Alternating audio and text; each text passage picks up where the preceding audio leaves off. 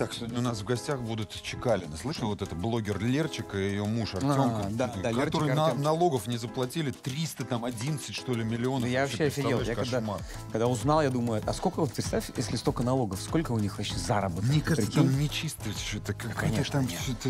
Честно, в России так не заработать. Да Это нет, нереально. конечно. Не, не. Вообще, знаешь, вот не нравится они мне. Увижу руки не подам. Я тоже не Потому буду что- здороваться, да. Ребята, привет, привет, привет, привет, классно, привет, а вы привет. здесь, Ой, да? можно вас обнять? Да, всё отлично, Поцеловать? конечно. Привет. Хорошо, Да. что пришли, спасибо А большое. мы как раз идем, вас обсуждаем, говорим, какие гости Немножко классные. нас, нервничаем, да. переживаем, Да не но... переживайте, как дома себя классные, чувствуете. поэтому- Спасибо Честно, я большое. думаю, вот из топа гостей, да, вот как люди, Ну вы, да. я думаю, вот на первом месте. Вы Ну, как бы какие ведущие, космические. какая программа, Да. собственно говоря. Да. Чувствуете себя как дома. Все, спасибо. Хорошо, спасибо Давай, давай, большое. давайте, Давайте Давайте увидимся, Да, увидимся. Да, всего хорошего. Давайте. Рад видеть. Мы рады, мы рады. Чувствуешь, что это не, не настоящее. здесь Настоящий. что-то вот Вообще в шоу-бизнесе мало осталось настоящих Да искренних, все честных. прогнили, Илюха. Только мы с тобой, похоже. Да, да, так, ну, чё, потому что мы вообще, честные, добрые, мы никому не завидуем. Кому? Давай, Все, давай, начинаем, начинаем, поехали. Сегодня в шоу «Воли» блогеры Лерчик и Артем Чекалины. На воле. Они расскажут, где хотели спрятаться от налоговых, Эрчик искала дупло все эти месяцы. Да. сколько денег у них осталось после уплаты долгов. Классная шутка. Также в гостях певец и ведущий Вячеслав Макаров. Подскажите хоть кто-нибудь, кто это? Слава наконец-то расскажет, как придумываются костюмы в шоу «Маска». Ну там, в принципе, мы все под мухоморами, да. А стендап-комик Сергей Орлов рад, что наконец-то добрался до ТНТ. Кто хочет со мной заняться сексом? Сергей предложит новую рубрику для шоу. Рубрика «Уролог шоу Оли». Смотрите шоу «Воли» прямо сейчас. Всем добрый вечер. Сегодня 4 февраля, воскресенье. Это шоу «Воли». У нас в гостях одна из самых громких пар прошлого года. Артем и Валерий Чекалины. Блогеры Лерчик и Артемчик.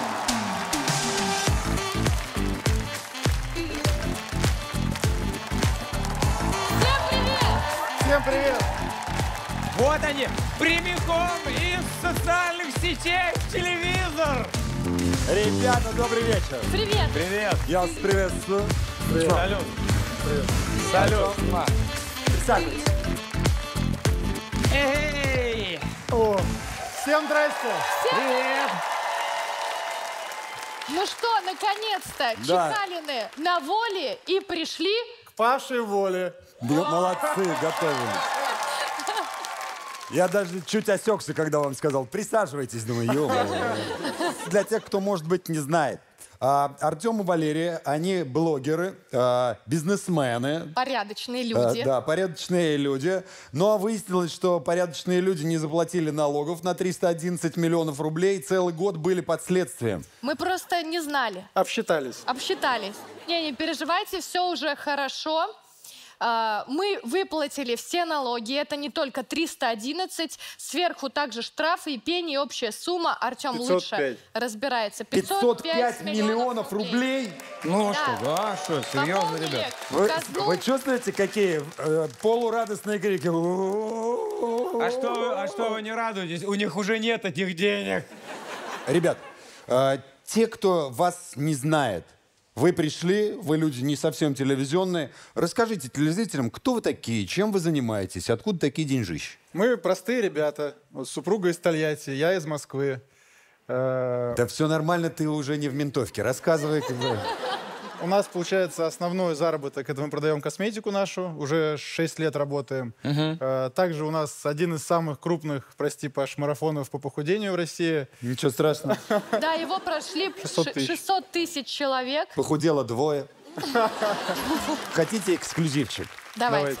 Ребята должны были полететь на первый сезон «Выжить в Дубае». Мы познакомились с Артемом. э, За пару дней буквально. За пару дней до этого Артем сказал, все, мы с вами летим в Дубай. Я говорю, все, отлично, давайте увидимся обязательно. Мы в аэропорту вылетаем в Дубай, и, и начинает валиться у меня в ленте новостей. Чекалины, тюрьма, сидят, не заплатили и все такое. Э, от- отлично познакомились мы вообще. Не, Паш, мы на самом деле выживали в Подмосковье. Да, вместо выжить в Дубае пытались выжить как-то в своем доме. К нам, когда, получается, пришли утром люди, они как нас это было? подняли... Расскажите, как это Ну, все выглядело? А, а получается так, что мы должны были улетать Бодряще. в Дубай. И я, соответственно, записываю сторис и говорю, ребята, нас целый месяц не будет в сторис. Мы едем на одно очень крутое мероприятие, шоу. Там нельзя будет снимать ни в коем случае. А выяснилось, что снимать нельзя год. Да. И я, соответственно, это говорю, и мы ложимся спать, уже собраны чемоданы, и тут 6 утра. Артем спит ближе к двери, я сплю, получается, чуть дальше. Типа он прям на ковре спит у двери? Ладно, на коврике. Прям на двери. Наверное, дальше расскажет Артем, потому что он был ближе к двери. Ну, собственно говоря, что я лежу, сплю, э, слышу какой-то шум. Э, смотрю, ну, как бы под дверью такая щель небольшая, смотрю, там какие-то фонарики светят. Много глаза открыл, думаю, что-то меня глючит, и опять заснул. А ты такой нормальный охранник дома, я смотрю. Не, обычно жена с ножницами выходит. Я смотрю, у меня кто-то дома шарится, думаю, посплю еще немножко. обычно я говорю, Артем, там какие-то звуки, иди проверь. Он говорит, я тоже боюсь. Я, короче, лежу, вот так, и чувствую, мне как будто фонарь в лицо светит. Фонарик от айфона. Ты думаешь, так, не проглючило. Я глаза открываю, в комнате, в спальне, вокруг кровати, что-то там 12 или 14 человек в масках, э, и автомат в лицо с фонарем, типа «Доброе утро». И ты такой, да не, наверное, кажется. Нет, я первые секунды думал, что кто-то из друзей прикололся, Мы типа думали, это какой-то пранк, пранк. это типа. шутка. Потом я Реально. понимаю, они все разгоняют, разгоняют. Я В общем, думаю, не похоже на Я шутку. открываю, получается, глаза, над Артемом вот так вот стоят, на меня тоже смотрят. Я резко отскакиваю в спинку, а получается, я же, ну, сплю в пижаме, в, э, Тогда ты была в ночнушке. да, ну, в такой коротенький. Я начинаю закрываться, думаю, почему ты- 14 мужиков стоят в нашей спальне, что они делают? Как в том меме сзади. В общем, я, получается, отпрыгиваю, начинаю вставать. Он говорит, подъем, подъем, встаем, доброе утро, встаем, встаем, подъем. Я думаю, где дети, что случилось? А, Быстрее бежать надо к ним. Они говорят, нет, ты одевайся, ты тоже одевайся. А он их не слушает. Он спокойно идет в ванную, берет зубную щетку, берет зубную пасту, включает кран, выдавливает и стоит вот так вот чистит зубы и смотрит в зеркало. А люди стоят над ним. Зачем ты зубы чистил? Да я не знаю. Это, пер... Нет, это первое действие, когда я просыпаюсь, что я делаю, это, видимо, жесткий стресс произошел. И Да. в жестком стрессе я сделал то, к чему больше всего привык. Потом, как бы, спасибо сотрудникам органов, все было очень вежливо, деликатно, детей не напугали. То есть Да, они, они думают, знали, что что, у нас шутка. дети. э, никто там не стал подниматься с автоматами наверх, то есть спокойно там с супругой поднялись наверх, никого не разбудили, как бы, ну, короче, все было четко. Потом спустились вниз, э, я уже понял, что это не розыгрыш, потому что там Я, сотрудницы... я все еще думала, что это что-то Да, там неправда. сотрудники Следственного комитета были, они были в форме одеты, начали зачитывать нам обвинительное, ну как это, возбуждение уголовного дела там в Что отношении там нас. Чекальня Валерия Валерьевна объявляется, то, а- а- обвиняется Мужем в этом, в этом, в этом, в этом, в этом. А, Арте- а Артем, их способничество. Я думаю, боже мой, это что, сон? Разбудите меня. Да, потом э, нам запрещают общаться между собой сразу. И мы Э, стоим. И через буквально, не знаю, 10-15 минут э, ей дают помыться, ее увозят. И я такой стою, думаю, вот сейчас, наверное, что-то такое будет, что мы надолго не увидимся. И я ее так обнял, как будто последний раз в жизни ее вижу. Да, мы обнимались, Она мы такая думали, на меня что мы смотрит, говорит, расстанемся. ты что, дурак, что ли, говорит? Тебе мы, со говорит, мной сегодня всё- вечером увидимся, говорит. Да, ну я хотела как-то поддержать нас, потому что было действительно страшно. Но мы были готовы ко всему. В любом случае, всю вину признали и Раскаялись, налоги. признали все, что должны, все Поэтому, выплатили. ребята, платите налоги. ФНС, В Варла. России. Было какое-то предчувствие, какие-то знаки были? Артем до этого пошел стричься. Я до этого пошел стричься. Я К говорю, Дубаю готовился. я говорю своему барберу, говорю, Лень, братан, твою стрижку увидят миллионы. Я, говорю, лечу на такое, типа, шоу большое. Я говорю, все, типа, сделай свою лучшую стрижку. И все, короче, он меня стрижет прямо вот за день до этого. И с утра, короче, там Все все, новости. паблики. Эту стрижку Там мое- видят мое лицо, миллиарды. Первый канал в 21 вечера новости, там все остальные каналы, мы там везде с Лерой. И потом, короче, я к нему прихожу неделю через две. Он говорит, братан, говорит, реально миллионы увидели, говорит. Не, а ты представляешь, как офигел Барбер, который... Нифига, он готовился! Это все так, конечно, забавно звучит, наверное, когда это уже время прошло. Но этот год, как он для вас прошел? Вам же запретили пользоваться интернетом, да? Самое сложное было в этот период, то, что вот э, мы, получается, детям подарили телефоны тогда на день рождения, у них вот 12 февраля как раз скоро будет. Э, И мы им тогда в прошлом году подарили телефон. Они там установили себе эти все приложения, начали нам звонить. Это первый раз в жизни, там каждый день там 20 вызовов. И здесь, э, то есть там буквально там через три недели после дня рождения вся ситуация начинается. И они вот это вот там звонят, звонят, а ты им не отвечаешь. И потом вот эти вопросы дома были. Пап, мама, почему вы не отвечаете? мамочка, вот это да. вот тяжело было эмоционально, потому что не знаешь, что им ответить. Так а что вы отвечали в итоге? Лера, что ты им говорила? А мы, мы говорили, что мы, нас, мы там заняты, либо мы на съемке, и мы придем вечером, и вот за ужином все вместе поговорим, а то что мы всегда сидим в этих телефонах. И, кстати, я на самом деле поняла, как все люди зависимы от телефона. Один раз над Артем прикололись официанты. И я, получается, опоздала на встречу. У нас Ну была да, вот если ты приходишь куда-нибудь один в ресторан, и ты сидишь без телефона, вот это ожидание, ты просто сидишь, меню прочитал уже 50 И раз, ему- смотришь на людей, как они едят. И ему официант берет и выносит детские разукрашки и карандаши вот так ставит и говорит, Артем, чтобы вам было чем заняться, держите. А то вы просто сидите вот так и смотрите. Да, сидишь, смотришь, изучаешь э, людей, Может быть, общаешься с что-то полезное сделали без интернета за год? Может быть, какие-то новые увлечения? У меня вот супруга, э, она раньше картавила. Она исправила Да, свою кстати, у речь. тебя Да. была Ехал приятная трактор, буковка тыр, «Р». тыр, тыр. Нет, все, ее больше нету. Расскажи, как ты занималась? В общем, сначала была Ты видел, большая... как, как будто дочку на... Давай, Деду Морозу, стишок. Ну, Табуретку несите, нам сейчас будут рассказывать. В общем, с самого начала была большая, большая сложность найти логопеда, потому что а, все принимают в нашем 21 веке Онлайн. И все уроки тоже онлайн. И, соответственно, мне там помогали, искали, говорят, а можно вот для девушки найти логопеда, ей уже там больше 30 лет. А, они говорят, да, конечно, по зуму будет удобно. Он говорит, нет, неудобно. Она вот любит вживую приезжать, она любит вот ехать за полтора часа от своего дома по пробкам, вот любит, прям кайфует. Живое общение. Живое общение. Она вот только за него. И прикол в том, что я когда пришла, смотрю, там лежат детские книжки, там а, исправить речи- речь э, 5-7 лет RL там. п- для, для детей от 5-7 лет. Я думаю, наверное, до этого ребенок занимался, и сейчас пришла я, А у тебя не ёкало, когда ты видела от 5 до 7 лет? Классная шутка.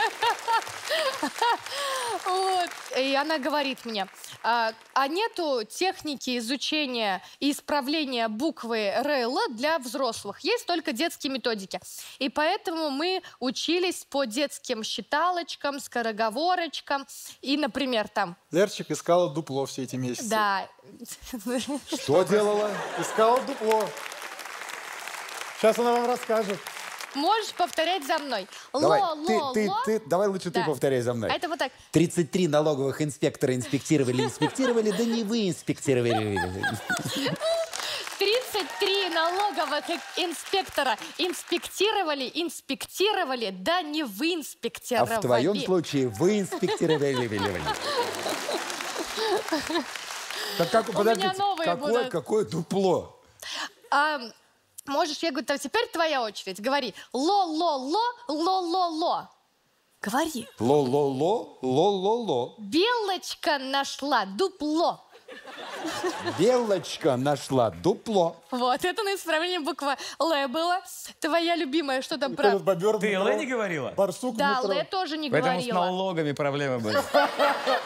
А теперь И с дроблением. Спасибо вам большое за то, что вы нам рассказываете такие истории. И вообще, вы, вы как гости у нас очень необычные, согласитесь? У нас здесь музыканты, какие-то актеры. И мы, певцы, да. А, а- а сегодня к нам пришли купцы. И, мы, я хочу вам кое-что рассказать. Если мне все поаплодируют, то я... Давай, Илюша, давай. Я буду признателен вам, а, Лерчик, Артемчик. Я благодарен вам, что вы пришли к нам, что у вас все благополучно завершилось, и вы находитесь здесь, шоу «Воля», а не в программе «Человек и закон». На самом деле, в случае с ребятами налогообложение э, это э, в вашем случае от слова «облажались». Вообще, ребята а, стали популярны благодаря марафонам и неплохо заработали. Вообще, марафон — это когда ты бежишь 42 километра, но от вашего марафона даже вы не смогли убежать. Я вам хочу сказать большое спасибо, что вы пришли к нам, что у вас все хорошо, что у вас все благополучно. Спасибо, что пришли к нам в гости, потому что мы видели, когда на видео к вам пришли в гости, вы были не очень рады. А мы рады вам всегда. Приходите еще. Наше прекрасное, доброе шоу. Так, сейчас короткая реклама, но разговор с ребятами у нас не закончен. Это Лерчик, Артем, это Чекалины. Они останутся в нашей студии. Не переключайтесь.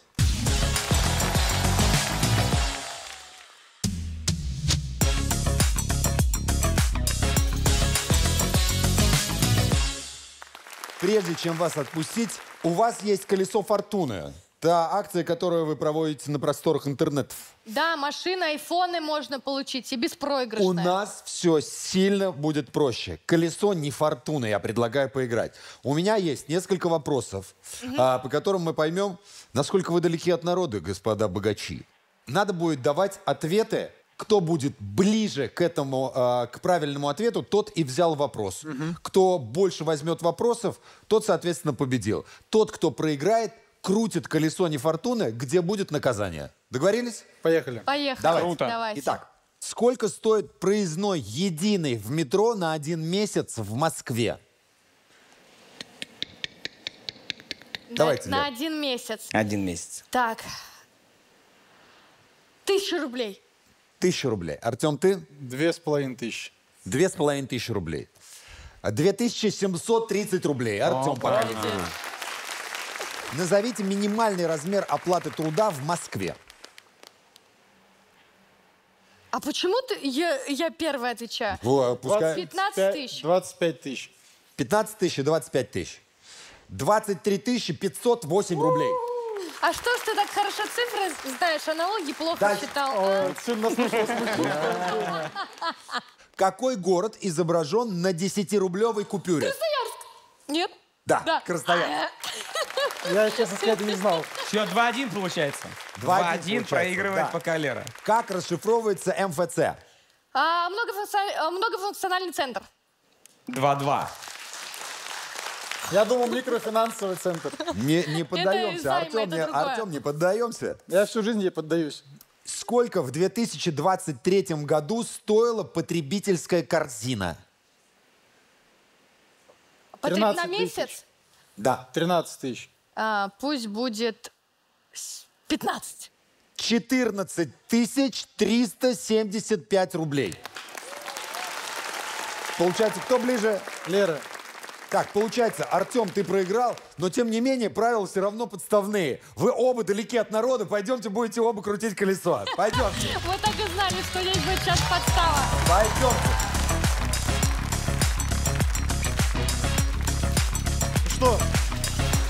Сколько раз мы это делали? Мое родное место. Подожди, я уже Так, чувствую силу стойте, колеса. стойте, стойте, Давайте, стойте, давайте. да. Я знаю, какие там будут наказания.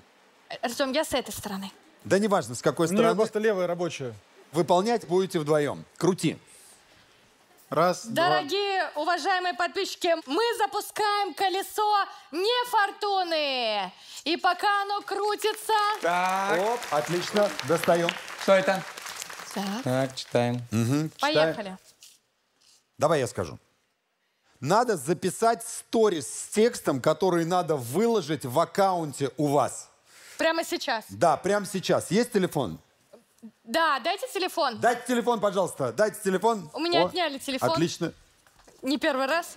Забирайте. Итак, вот какой вот текст будет. А, мои марафоны фигня, самые лучшие курсы у Лейсан Утяшевой. Поэтому, поэтому подпишитесь на ее марафоны на силе воли. И, обяза- и обязательно посмотрите стендап Ильи Соболева, а еще лучше Павла Воли. Он вообще супер комик. А программа шоу Оли вообще вверх телевидения. Подписывайтесь на всех, а, кого я сказал. И всех прикрепи обязательно. Попробуй, чувствую, мой любимый комик программы шоу. Так, супер. Так, давай, поехали. Держи. Так. Давай, раз.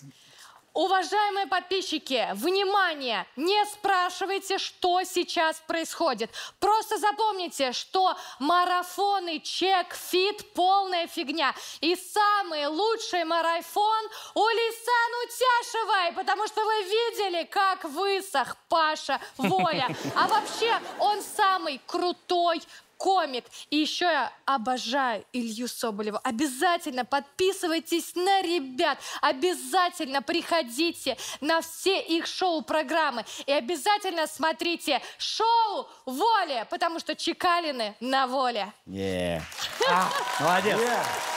Отлично. Тем, давай теперь ты тоже проиграй где-нибудь, подавай. Кру- Давай. Крути барабан. Надеюсь, там что-то другое Там что-то будет точно другое, Давай. совершенно. Отлично. Что там? То же самое. Самое. Конечно, да, то же самое. Да там везде то же самое. Пойдем, расписывайтесь на знамы.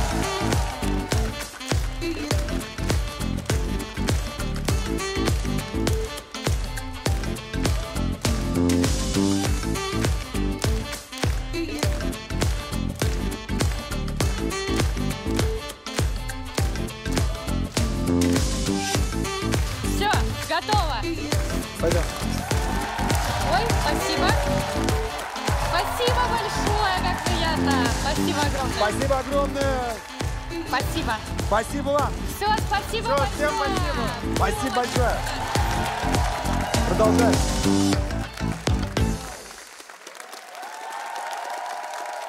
У нас в гостях один из самых популярных стендап-комиков России Сергей Орлов.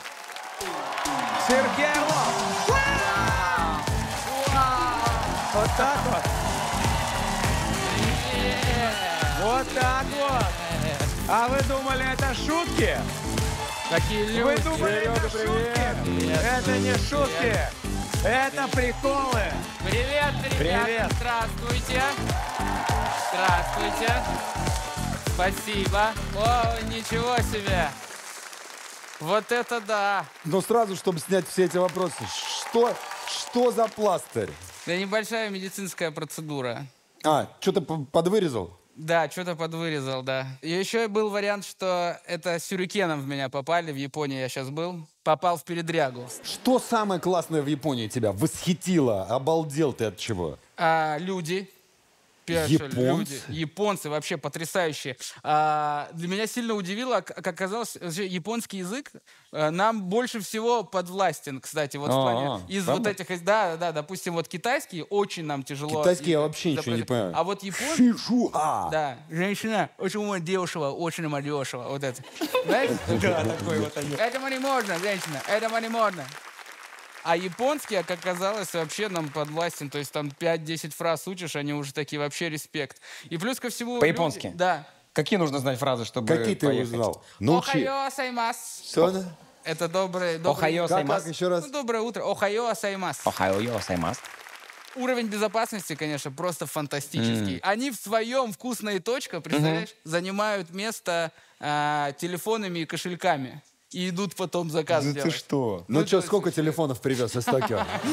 Много нельзя. Ну, в общем, э, уровень безопасности вообще невероятный. И еще, кстати, знаешь, чем они похожи? Очень любят э, э, тусоваться они. Пятница, суббота — это просто фантастика, какие Все они. говорят, напиваются, они там работают Все всю так- они неделю, такие- чтобы просто...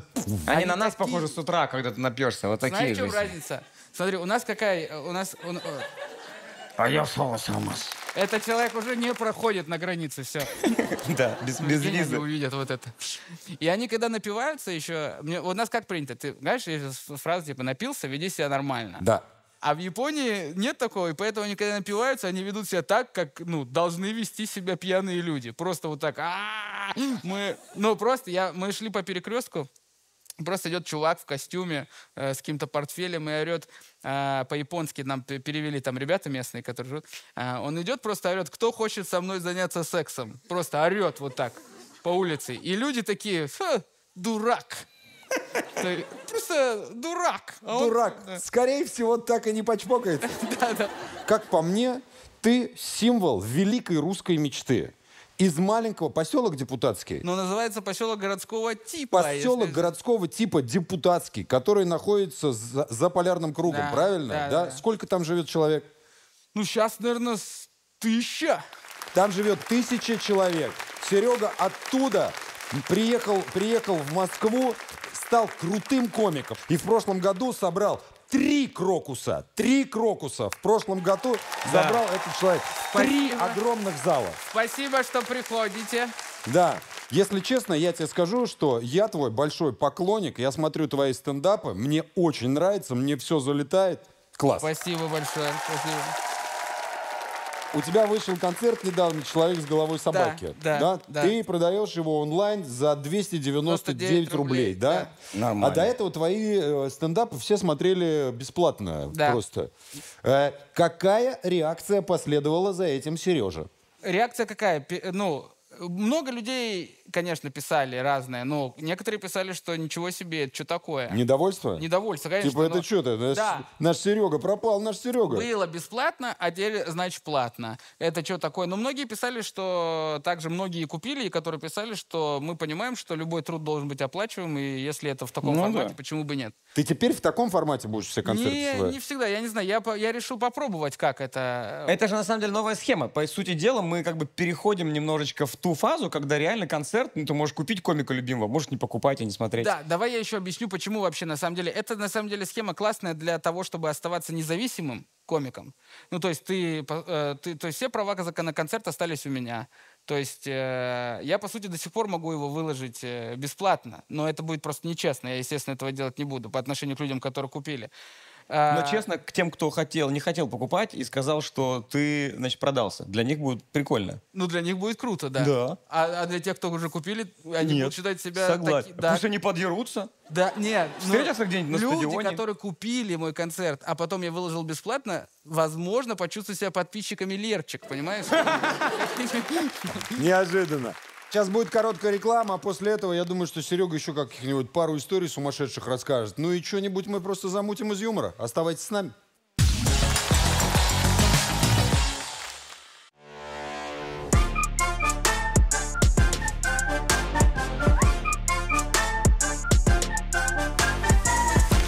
У тебя огромные гигантские туры. Мне кажется, ты один из самых вообще ярых гастролеров. У тебя там по 130 концертов в год бывает. Сколько в прошлом году дал концертов?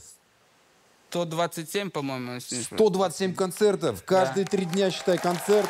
Или 130, да, я не помню. Да, да, да, да, У да. меня к тебе просто вопрос-то, вот я тоже бывалый Я гастро- знаю. гастролер, да, но я постолько не езжу. Как ты выживаешь вообще? Блин, тяжело. Просто ты видел, блин, хочешь, я просто давно уже хочу обзавестись какой-то... спать, есть. Обзавестись какой-то работой.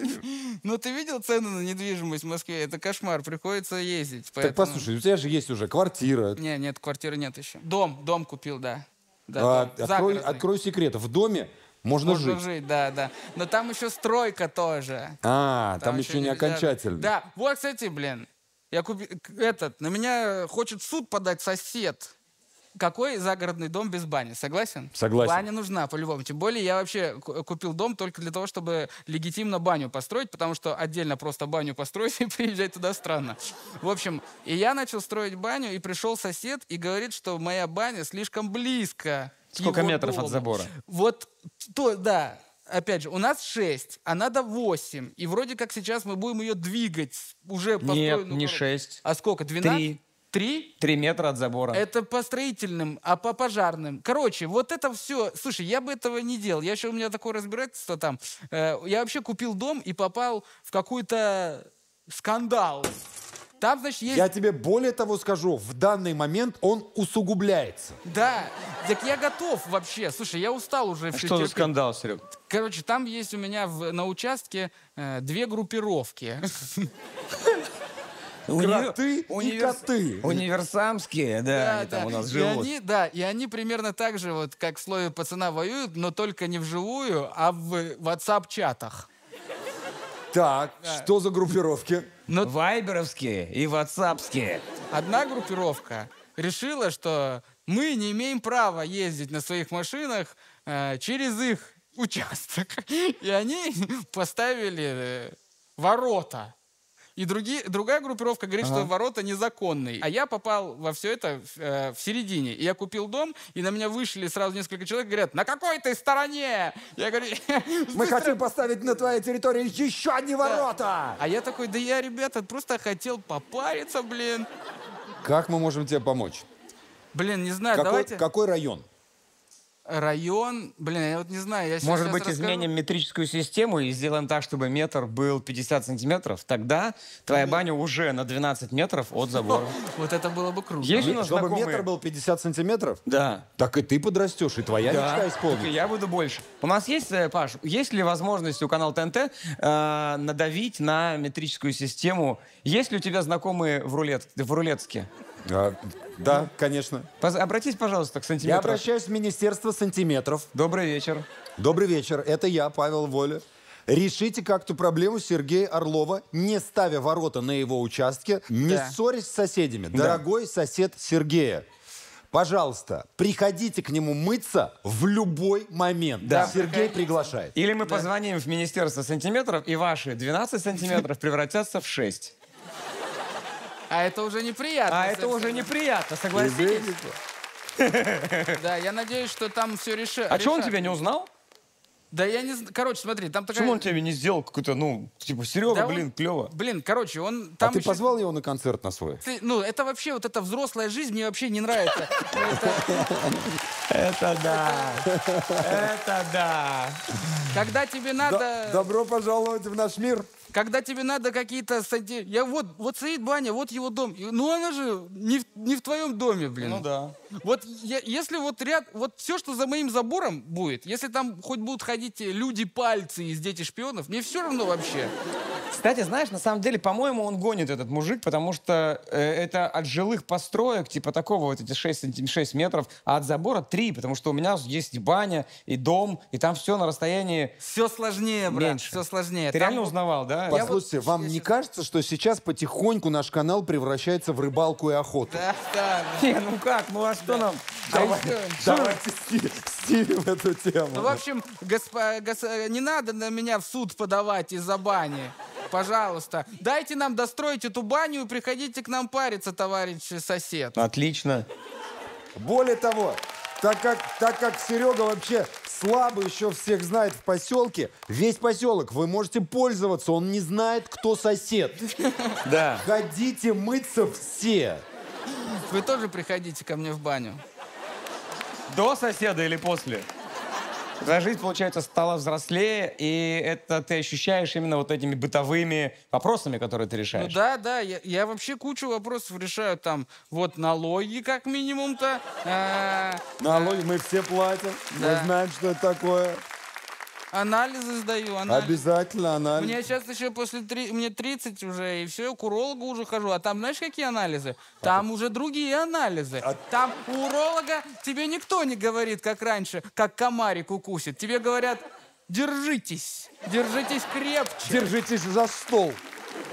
Мой совет всем подрастающим мужчинам, которым нужно пойти к урологу. Здороваясь с урологом, обращайте внимание на его руки. Обращайте внимание, правда, я вам Да. говорю. обращайте. Если толстые пальцы, смените врача.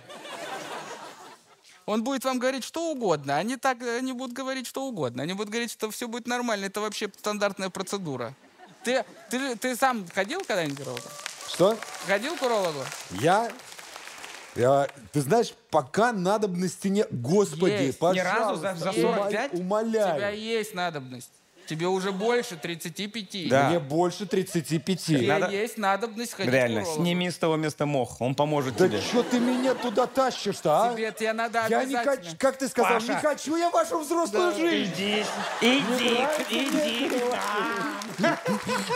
Манит-уролог меня Я тебе больше скажу, ты опоздал уже, тебе надо срочно бежать. Минимум двое нужно Поэтому сегодня я пришел не с пустыми руками. Рубрика «Уролог в шоу Оли». Заходите, э, с- с- ставим. А почему я опоздал-то? Ну надо тебе, надо. Надо всем профилактики. проверять. Для безопасности надо. Блин, вот вы меня напугали. Надо, надо. Я сейчас поехал. Да. А ты, ты еще э, вот как это, стройненький, худенький. Да. Ты прям ты- конфетка для уролога, да? А что Кстати, тебе... ты вообще, тебя можно будет даже вот так на свет поднять, может. Не обязательно, не Да, обязательно. да, да. Определить. Сейчас я туда дуну и все пойму. Расскажи вот по поводу худенького и маленького. Что тебе сказал уролог, когда ты прощался с ним?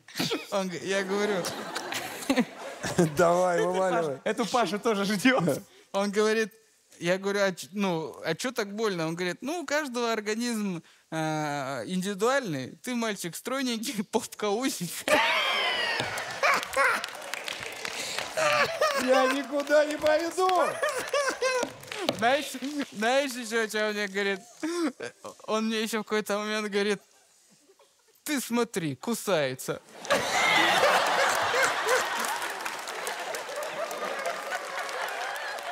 А, он мне А у говорит- тебя он кап- мне говорит, капкан палец, сработал, Он да? мне говорит, палец сейчас откусишь мне. Ой, ужас Это какой. страшное дело. Я слишком беззаботно жил до этого Да, момента. да. Вообще, но это тяжелая работа. Спасибо вообще все, всем людям, которые этим занимаются. Это тяжелая работа. Вот волка ноги кормят, а уролога руки. Ну ладно. Стойте, стойте, остановитесь это. Я хочу задать вопрос не тебе, а трюкачу. Да ну господи, ну Да, где ты это да. назвал? А. А, что это такое вообще? Откуда это? Я Если, тебе- если кто-то не знает, Серега раньше был рэпером. Это прям вот там он достал оттуда, где уролог у меня был. Вот оттуда прям достал у меня эту а, информацию. Трюкач это был псевдоним. А, вот как выглядел. Вот как выглядел трюкач. Покажите, пожалуйста. Йо. Сколько ты дашь денег, чтобы мы не включали твои треки? У меня нету столько денег. Тогда будем слушать. Да А, что ребят, такое-то? а? Ну вы, как- вы просто... Ва- ваша жизнь будет до этого вечера и после этого вечера. Нет. Итак, Трюкач и его трек Блин, ты... «Верить и ждать». Ты ушла и подарила мне одиночество Ты извини, но принимать такой подарок мне совсем не хочется Ну что ж, здравствуй, жестокая любовь вроде боль утихла Вы но еще сделали текст? Конечно. Блин, круто. Я Я отменяю. ничего не понял. Я, я отменяю э, вот это самый тяжелый период за последнюю неделю. Уролог на втором месте. Дальше есть строчка, А еще есть которая мне очень нравится. Да ну ты чё, это, ты, был, ты? Это было только начало. Включите, Господи. пожалуйста. Там самый... А я помню, как замирало сердце при одном взгляде Каждый вздох тобой только тебя ради Блин, согласен, да. Каждый вздох тобой, только тебя ради. Серег, Блин, ты специально это сделал, потому что у тебя есть все, все будет офигенно. и Нет, вот это я не да, просто, я не просто это сделал специально. Я, я записал альбом тебе с твоими треками. Ствол. Теперь у Трюкача есть свой альбом, все по классике, как должно там быть. Более того, Сереж, я тебя прошу, подпиши, пожалуйста. Ты что, прям реально диск тут? Да, это диск, С там все песней? песни Трюкача. Да, все прям. Все пять треков. Все пять. А, Подпиши э, и с этой стороны, и диск, чтобы уж наверняка это было. Да. А что надо написать? Прям на диске, на диске пиши. Что надо написать? Ну что, напиши, а, от трюкача с любовью. Там же знаешь, что какой был прикол? Ну не трюкач, не из-за того, что трюки, а из-за того, за что тру- трукач. Да, это трюкач. Во, во. Типа настоящий кач. Все, верно. Видел, какой кач вообще? Закачаешься. И Это я, конечно... О, Ребят, это, это все не просто так. Мы это разыграем в нашем телеграм-канале. Это уйдет в народ. Мы знаем про твое офигительное хобби, твое увлечение. Ты собираешь дошираки, лапшу. Лапшу. Ты собираешь... Лапшу. ла- неспроста она стоит. кстати, лапшу, красивая. лапшу быстрого приготовления. Кстати, э, а вы мне ее отдадите потом? Я ее, смотри, как она, я ее дома поставлю, у тебя- как этот. Да, этот арт-объект твой. Все. Сколько у тебя уже всяких разных У лапшичек? меня осталось там каких-то интересных экспонатов. Я вот с Японии привез.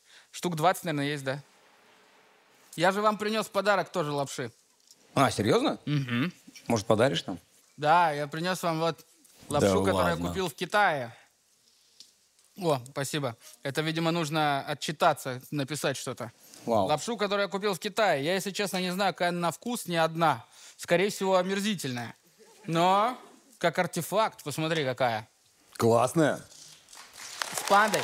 Кстати, смотри, Слушай, вообще приятно, когда люди приходят с подарками. ты смотри, кстати, ты видишь состав какой? Просто посмотри, какой состав. Смотри, Давай. такого дошираки не кладут. Клац, это немножко вот с э, пятки бабушки отошло. Потом раз пакет, два пакет, три пакет. Немного вот жижи какой-то. О, посмотри. Ну так это вот какие-то анализы. В Японии так хоронят людей. да, Это я знаю. китайская. А. Китайская. Серег, Да. классно. Спасибо, что ты пришел с подарками. Это за отлично. Вот, держите. Сереж, можешь расписаться, мы разыграем э, в телеграм-канале для наших зрителей. Давай, вообще только это, круто. возможно, сотрется. Да. Но неважно. Да нет, да. А вот это вот открытое, это мы с Ильей съедим на двоих. Да, но она на самом деле так и продавалась. А, да? Да, без э, такой штучки. Открытая была? Ну вот такая была, да. Но со скидкой, да? О, можно вот тут расписаться. Давай. Класс. Все, отлично. Убираем всю эту красоту. Кстати, то, что она зеленая, это не значит, что, как у нас, значит, она не острая. Скорее всего, она очень острая. Сереж, спасибо, что ты пришел. Удачи тебе на концертах. Спасибо. Написать еще Да. миллион стендапов. Да. Мы тебя смотрим, мы тебя любим. Спасибо вам большое. Покупайте мой концерт и приходите на мои концерты в новом туре, который информация есть на моем сайте и в моих соцсетях. Я еду в новый тур в апреле. Давай, придем. спасибо. на статую пойдем распишемся и все. Пойдем.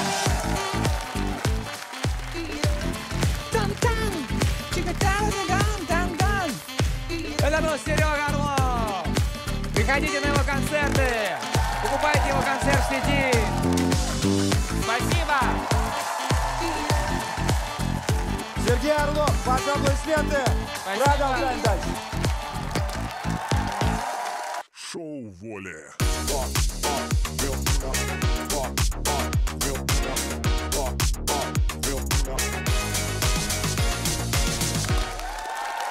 Сегодня в нашей студии ведущий популярного шоу «Маска», пятый сезон которого через неделю стартует на канале НТВ. Вячеслав Макаров! Всем привет!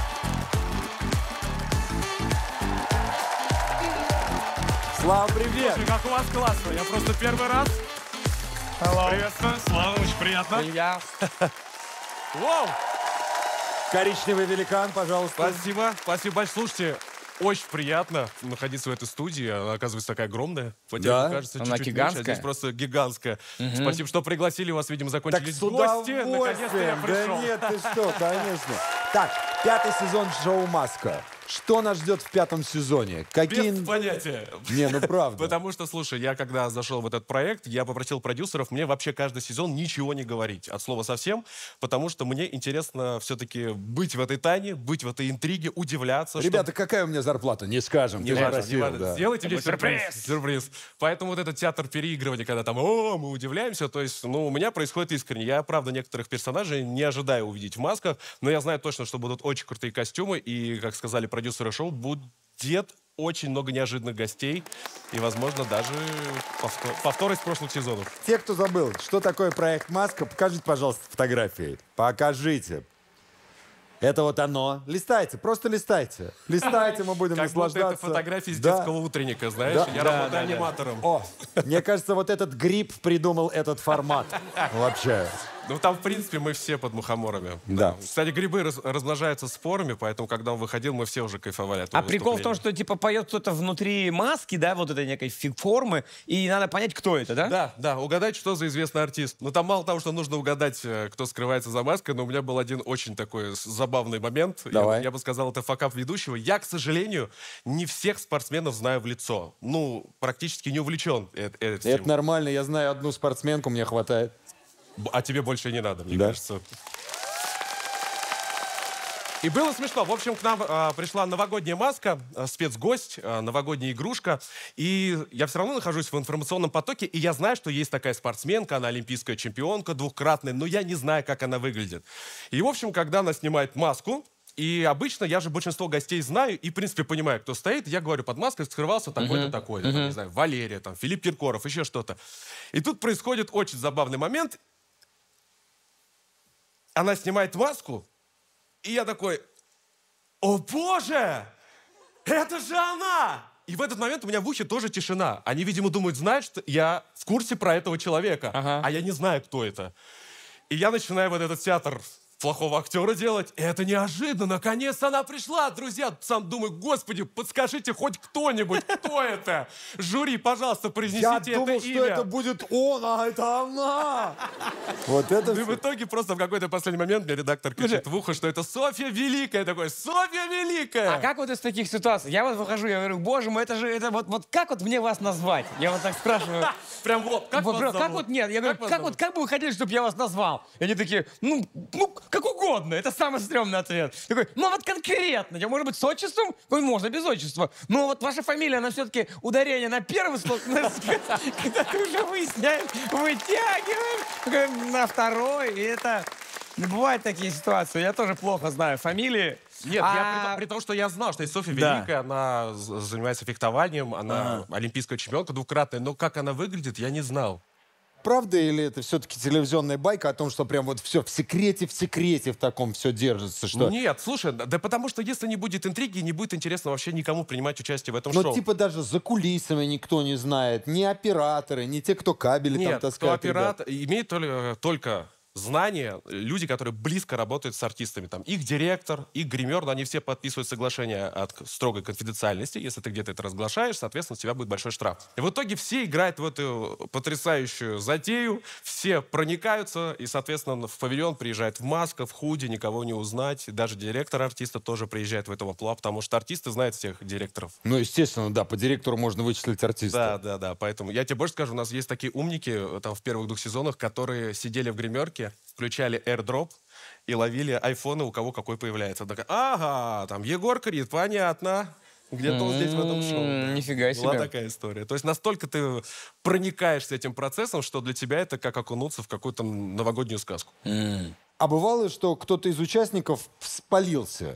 Но, типа, вот ты, не знаю, кого-то встретил в коридоре, поговорил и понял, кто это. Слушай, была история а, на корпоративе. Я совершенно не был знаком а, с солистом группы Иванушки, который по центру. Кирилл Тариченко, маленький. Маленький из Иванушек. Ну, короче, Кирилл, прости. А, и Нормально. просто- И Без- просто... Безызвестный из Иванушек. Да, мы просто пересеклись, и он такой, о, привет! Я такой, привет. А мы вообще никогда не виделись от слова совсем. И я такой, странно, что ты со мной поздоровался? Вроде мы с тобой даже там хотя бы не представились друг другу. Как зовут вообще, ты кто? Ну вот, и потом идет у них выступление, и он делает движение, которое делал в одном из танцевальных номеров э, его маска, носорог. И я по этому движению понимаю, что это был он. И он сам говорит, я, говорит, когда к тебе подошел, поздоровался, говорит, я отошел, думаю, что я сделал? Я же спалился. Но он понял. Так что чуть-чуть не, зако- не проконтролировал себя Кирюха. Ты еще э, вел э, шоу «Аватар». Да, веду, пока не уволили. Есть еще что-то на НТВ? Короче, суть та же самая, что шоу «Маска», только артисты находятся в специальной комнате, э, на них находятся датчики, которые считывают их движения, и по этим движениям проецируется на сцену технологический персонаж виртуальный, который называется «Аватар». Это может быть также кто угодно. Там муха, А, как костюмы, только не надо их делать. Да, да, не надо делать. А это просто виртуальный персонаж, А. и все, и по этому персонажу нужно Послушай, также угадать. а как ты с участниками общаешься? Ты с пустой сценой общаешься? Да, да, да, у меня такая легкая шизофрения получается. Я просто в какой-то момент поворачиваюсь в пустоту и начинаю с ней разговаривать. Послушай, ну с учетом твоей профессии ты разговариваешь с пустотой или с какими-то объектами э, э, поролоновыми? Ну да, я уже Ты- прорабатываю эту послушай, травму с психологом. Да, а, и в какой-то момент, если ты сойдешь с ума, ты просто будешь думать, что ты на работе. Поэтому я тебе больше скажу, я могу вести шоу, где нет гостей. Просто поставить картонку и общаться с ней. А, подожди. Интересно, а на съемках, а зрители что видят? Также У пус- них на боковых экранах, на больших, находится персонаж э, виртуальный, которого они видят. А у меня, к сожалению, такого нет. Я просто смотрю в в бок и никого не вижу. Я, я в этот момент, конечно же, эмоционально где-то внутренне грущу, но тем не менее. В одном видео я видел, как ты перед шоу разогреваешь речевой аппарат. Господи. Да, говоришь скороговорки. У тебя это какая-то такая на традиция. Да, конечно, ка- какие-то скороговорки, там, я не знаю, размять мышцы лица максимально, чтобы все было хорошо, э, чтобы все мышцы работали. Много и- скороговорок и, и знаешь? дыхательная гимнастика, конечно же. Да? Чтобы у тебя кровь зациркулировала. А что с дыхательной гимнастикой? Вот мы тоже два, э, два Да. несведущих ведущих. Показать? Да покажи, конечно. Короче, это, нет. эта гимнастика называется гимнастика Стрельниковой. Ага. Она помимо того, что прочищает твои носовые пазухи, господи, мне скажешь, программа здоровья начинается. Конечно. Сейчас выйдет огромная женщина в ростовом костюме. Ноз- Костюме Ноздри. печени. Да. Хорошо, пусть будет печени.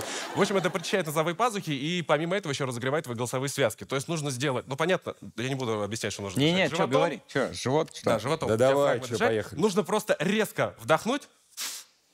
А, Нет, отопырь животом, живот. типа. Да. Да, отопырь живот и выдыхать ртом резко. Обяз- А лучше всего еще в идеале это делать вот так, смотри.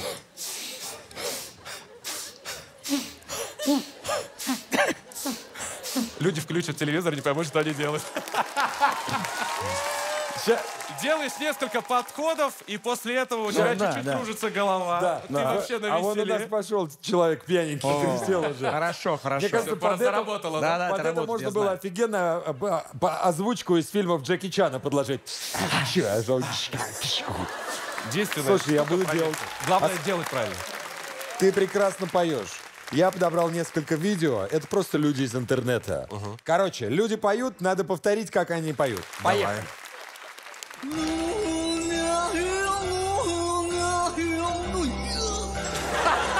это такое вообще?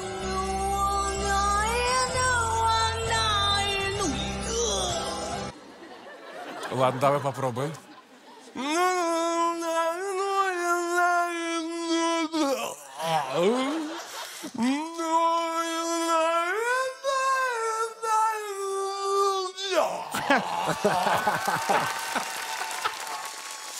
Слушай, это новая гимнастика, разминка перед тем, как вести передачу. Давайте.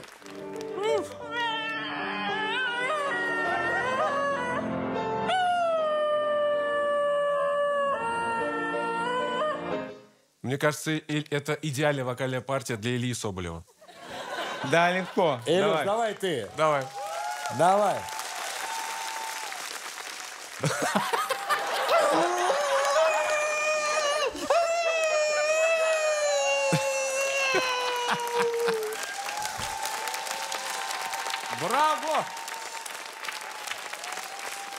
Прелестно.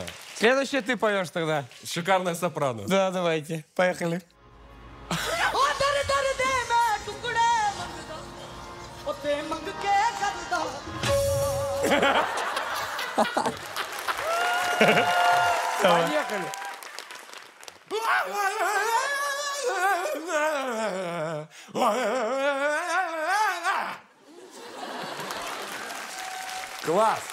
О. Так, следующее видео.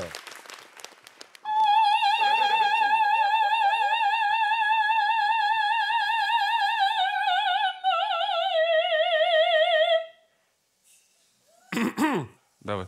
Поехали.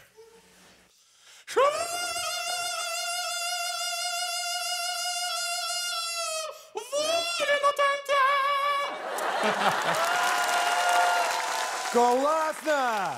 У вас теперь есть отвратительный рингтон. Это Слава Макаров здесь у нас в гостях. Шикарно. Спасибо. Спасибо огромное. Спасибо, дорогой. Круто! Кстати, сегодня 4 февраля, ровно через 5 дней у Славы день рождения, 35 лет. С наступающим, с наступающим. Спасибо. Спасибо. Пойдем распишемся на статуе. О. Пойдем. Это традиция? Да, традиционная статуя. Мы потом ее пустим на какие-то хорошие дела. Я распишусь в папу. Давай.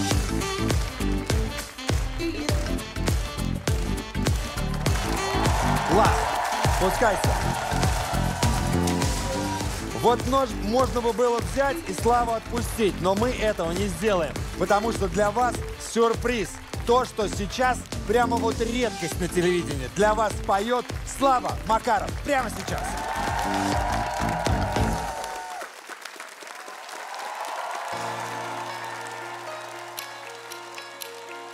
Мне обещали, что все наладится, сердце сумеет с обидой справиться.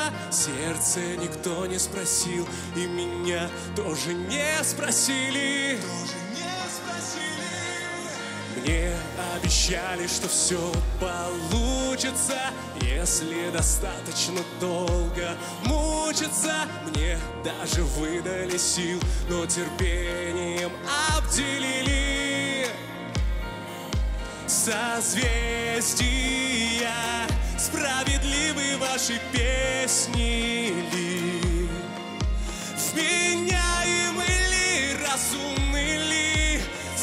Зачем вас вообще придумали? Знак водолея. Я все отдал и ни о чем не жалею.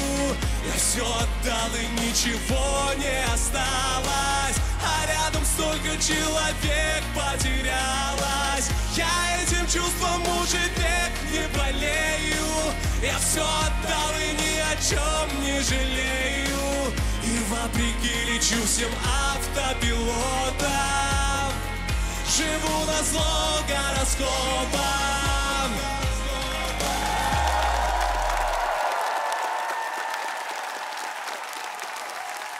А вот так вот! Вячеслав Макаров здесь, шоу Воли. Увидимся с вами на следующей неделе. Пока!